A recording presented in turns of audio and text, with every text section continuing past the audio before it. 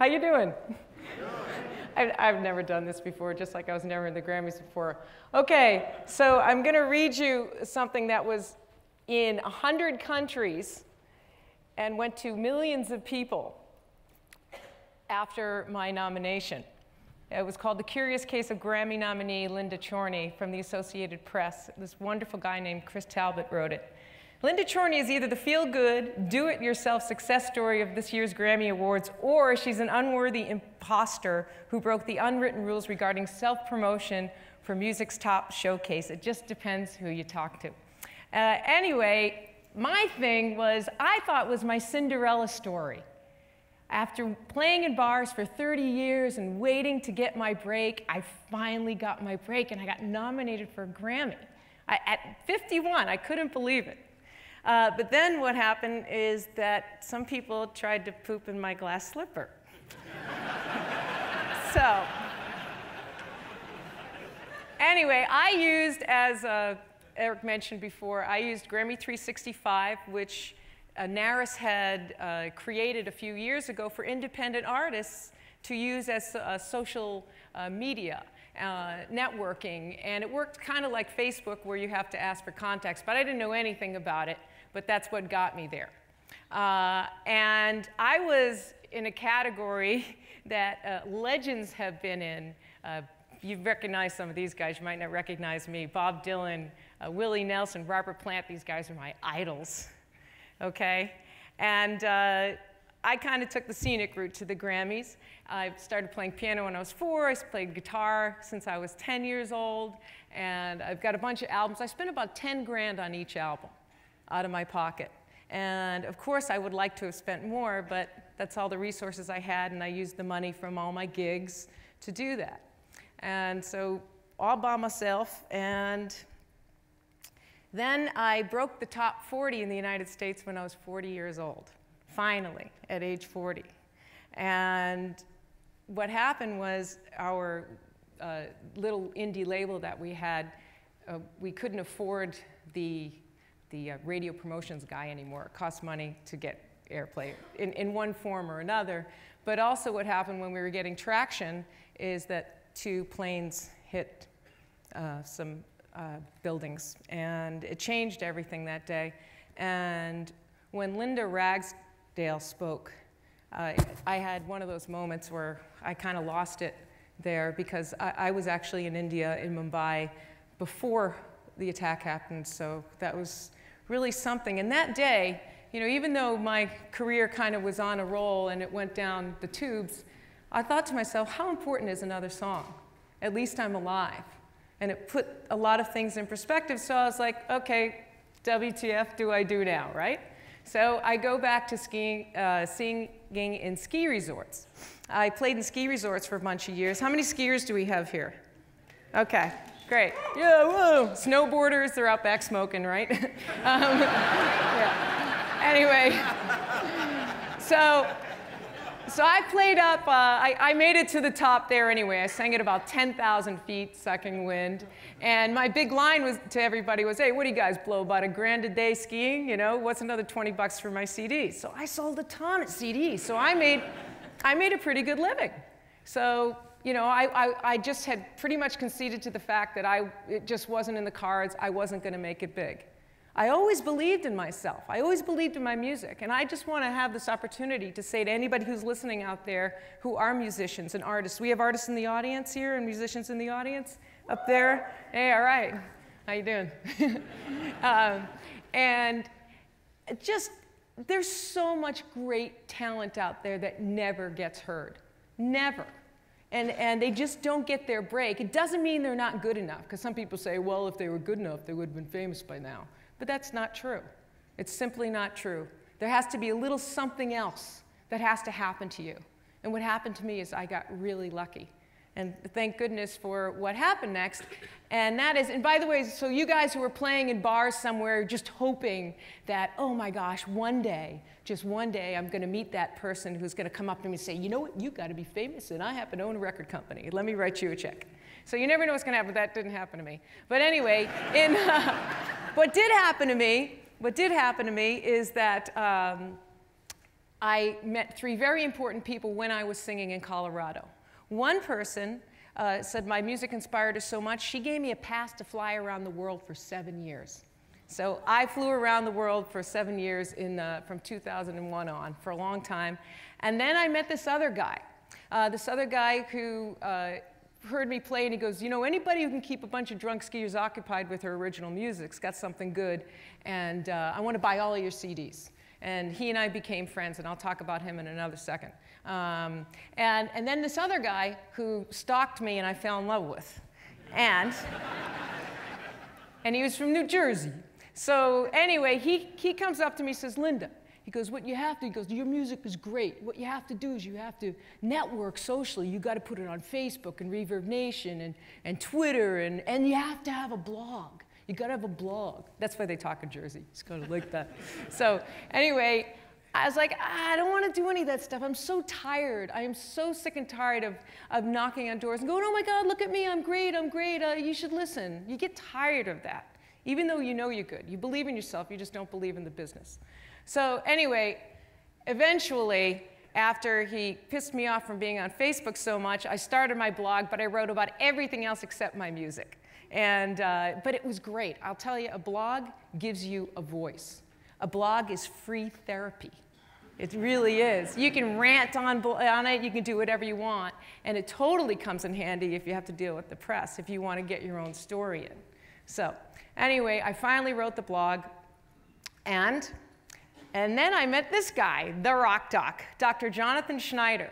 This, the guy who I told you about who said your stuff's really great and uh, I bought all, you know, bought all my albums. Well, nine years later, he comes up to me and says, Linda, I want you to make the album you've never been able to make before.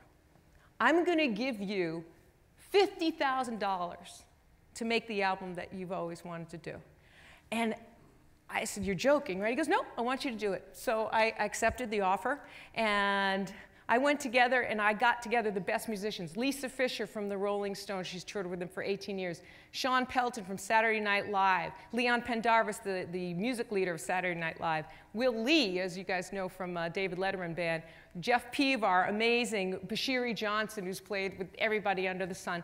So uh, it was like I used to be like one of those Norman Rockwell kids in the can- against the candy store wall, the freezing wall, breathing against all the things I wish I could have because I know how to make that great album, but you only have so much you can deal with. So anyway, I had the whole store. I could do whatever I want. It was fantastic. And I made the album of my dreams. I put together a symphony that I always wanted to write, and I, we weren't really looking for a particular genre. I figured this is my last album you know, I'm, I'm 50 years old. I'm not going to do another one. I've, this is my sixth one.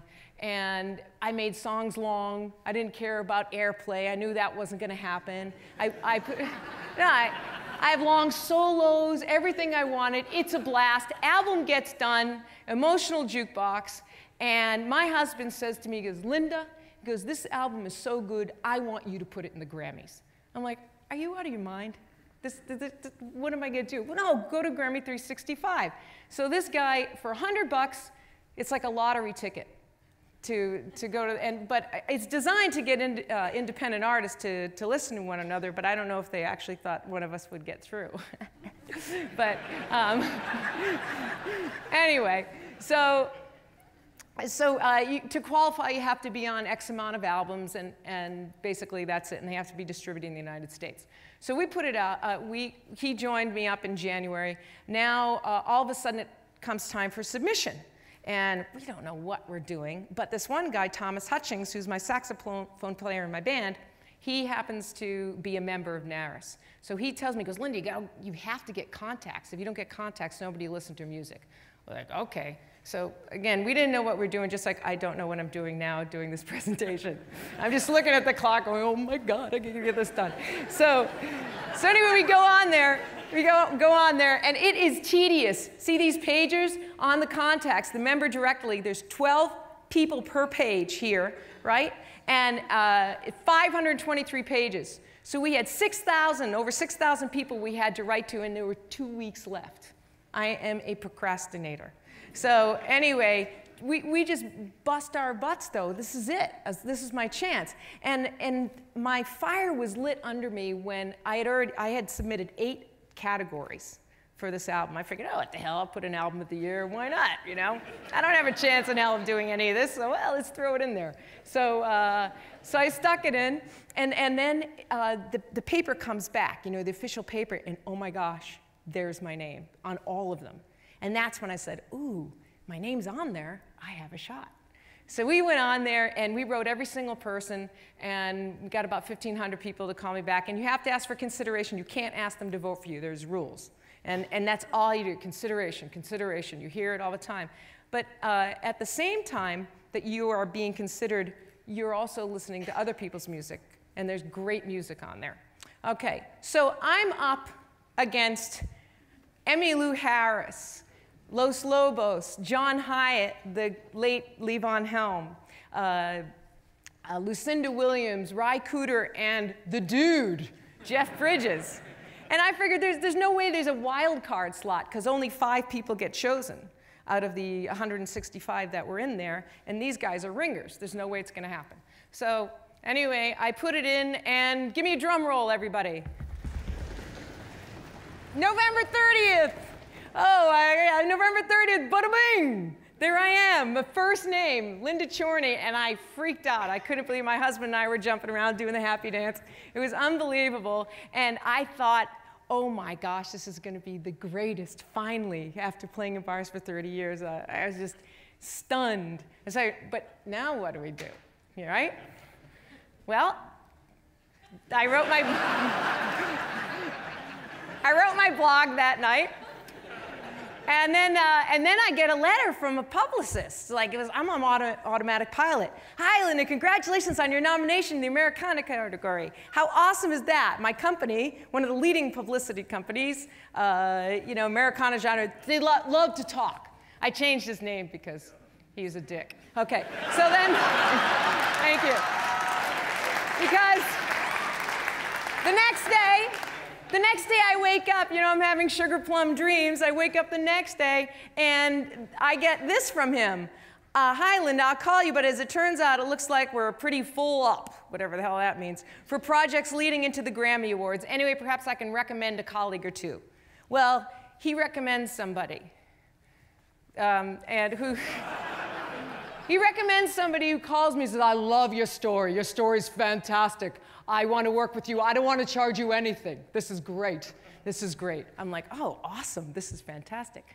So, uh, so we take her on. She goes, I've got everybody calling me off the hook. Variety's calling me, Billboard, you name it. This is fantastic. Okay, great. So then I get a phone call from her the next day. She's like, uh, uh, you, you realize uh, you really don't belong here, right? I'm like, what? She goes, you know, you know you're not as good as these other people in the category, that you're just a joke.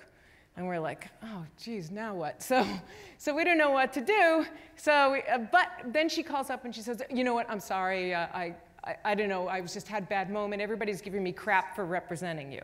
This is like the other publicists. Apparently, and th this is just my theory, is that um, because other people spent a lot of money on their publicists to get their people nominated, and they didn't get nominated, and I did, that the publicists didn't like me. So they did what they could to, to do what they could, and it worked, pretty much. Okay, so anyway, we flew over to LA to meet her, and everything looked like it was pretty cool. That's me because I'm an independent. I'm not even an indie, I'm an Audi. I don't even have. I don't even have the budget for a, uh, an artist, so I drew that. We go to LA and we meet her. and I, I, did the interview with Billboard and with Variety, and it's really awesome. And, uh, and then we're, we're leaving Los Angeles and we're flying home, and uh, I've got Variety with me, and I'm on the cover. I made the cover, the hardcover Variety. I'm like, oh my God, this is amazing. And, uh, and then we had to make an emergency landing. The plane had a problem, so that was my next WTF now. And, um, and so that's me drinking. That's a picture of me drinking, holding the thing after we had the emergency landing. And, uh, and then, and then the, the article says nobody in our field managers, booking agents, radio promoters knows who the, this chick is. So I was laughing. I thought that was hysterical, and I decided to go with it, and I made T-shirts. So thank you. Uh, thank you. Which are available, which are available, and uh, and then and then um, the other guy, that other publicist, starts a bullying campaign about me on Facebook. It's like, wow, that's not really nice. So everything was kind of weird. I didn't know what was going on. Then Billboard came up. Everything was cool. I'm running out of time. Houston Press comes out. Uh, and this is when the bashing started. Everything was really funny for a while. And then this other uh, um, Roots magazine came up. But this is the kind of journalism they were using.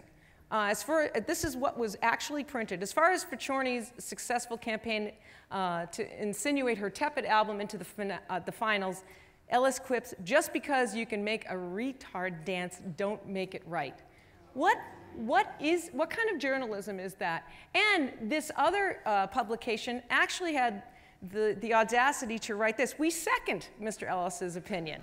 Linda Chorney, do the right thing, withdraw your nomination now. Oh, yeah, okay, I'm gonna do that. So, uh, anyway, uh, but then some guy stepped up to the plate uh, this guy, Paul Shatkin, he was my hero, and he, and he was wonderful what he said. I'm running totally out of time. Uh, I was on the cover of everything, and then, then misquotes started. I got the misquotes because I was talking about how I can how I was influenced by the Beatles and the Stones, and that got turned into Chorney aligns herself with the Rolling Stones and the Beatles. I'm like, oh my God, press is press is tough. You gotta you gotta deal with things. It was, an, uh, and I'm gonna run out of time to sing. Do I have to sing now? Okay. Uh, so anyway. Um, uh, Philadelphia Inquirer, then I learned about sensationalized uh, marketing. They, this guy wrote this great article. He's a wonderful guy, Dan uh, DeLuca from Philly Inquirer, uh, American Grammy Underdog, Grammy nominee sparks social networking. That gets turned into Grammy nominee accused of gaming the system. So they changed things around, and, uh, and then there was Venom. Oh, I got death threats for being nominated for a Grammy. And then I started looking at search, engines of what people were searching for for me. Linda Chorney, lesbian. Linda Chorney, asshole. Linda Chorney knows Bruce Springsteen. Um, you know, Vikram was talking. He had a shot, you know, with uh, his guru guy. I had a shot with me and Springsteen. So I decided to make another blog, make it easy for him. Linda Chorney, lesbian, asshole knows Bruce Springsteen. Thank you. Okay. Round two came. The article comes out. NARAS said I did nothing wrong. Uh, I'm in the Hollywood Reporter. Some guy calls me up and tells me all the secrets about the AMA, uh, which I can't even get into right now. Um, I go to the Grammys. I don't win the Grammys, but I ended up, uh, I thought my curse was broken because I got to sing at uh, Fenway Park a couple of weeks ago, which was wicked awesome. And then, and then I got invited. I got invited to another conference, and guess what they called it? Thank you. You're giving me the time to do it? Oh, I, I thought I was done. I, hey, I finished to the second, right? That was cool. so you want to hear something funny? They, you know how they accuse me of gaming the Grammys? I'm really totally bad with, um, with social media and, and, computers. And I actually, in Dropbox, all of our speeches were in Dropbox the night before everybody was coming. And my Dropbox was full, so I said, oh, I'll just get rid of them all. So I erased everybody's speeches. That was me. oh, yeah? So I, I wrote this song uh, during, during the bullying time. Um, I was inspired to write this called When I Sing. Life has been less than easy. I've been disappointed more than I care to admit. But I put on a good show of color to brush over all the pain. And I don't have enough fingers on my hands to count how many times I've been let down. But I found a safe place to go where I love hanging around. Where I don't feel the sting. And there's just one thing that makes me feel as light as a child on a swing.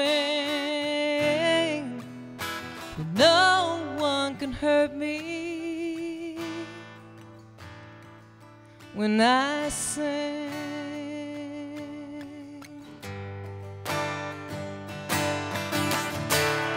Thank you. There ain't nothing wrong with being your own best friend.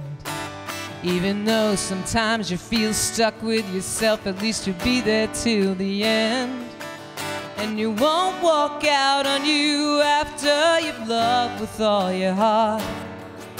And wipe the feet on your welcome mat, not bothering to close the door behind. Leaving you broken in a draft, never bothering to look back. Wondering if you're okay, never questioning how it ended up how it ended up this way.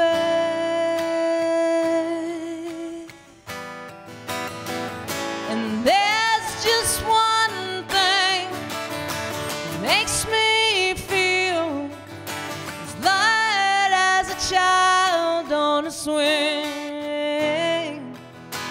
No one can hurt me, no one can break my heart, no one can hurt me.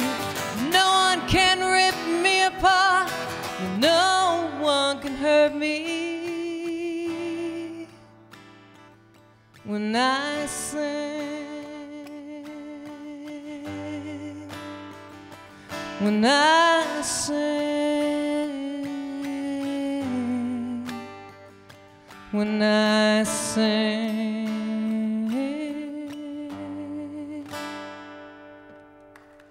Thank you very much.